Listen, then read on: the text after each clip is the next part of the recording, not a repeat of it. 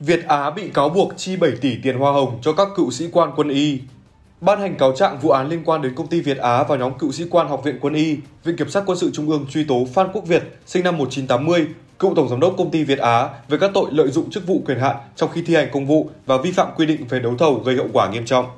Bị can Trịnh Thanh Hùng, sinh năm 1966, cựu phó vụ các ngành kinh tế kỹ thuật, Bộ Khoa học Công nghệ và Hồ Anh Sơn, sinh năm 1976, cựu thượng tá, cựu phó giám đốc Viện Nghiên cứu Y Dược học Quân sự, Học viện Quân y, bị truy tố lợi dụng chức vụ quyền hạn trong khi thi hành công vụ. Bốn bị can còn lại, gồm các cựu sĩ quan Học viện Quân y và cựu nhân viên công ty Việt Á cũng bị truy tố do vi phạm quy định về đấu thầu gây hậu quả nghiêm trọng.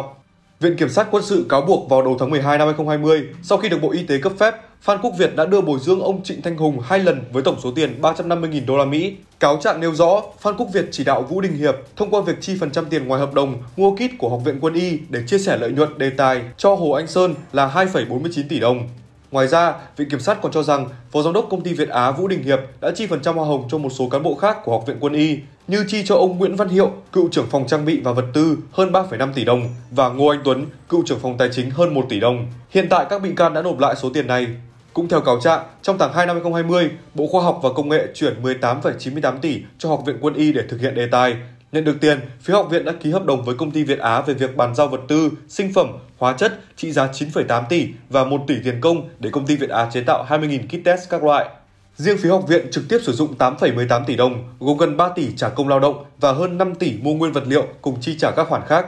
Theo Viện Kiểm sát, quá trình ứng hàng mua bán, sử dụng hóa chất, bị can Hồ Anh Sơn không có sổ sách ghi chép, dẫn đến không theo dõi được số nguyên vật liệu đã mua và sử dụng.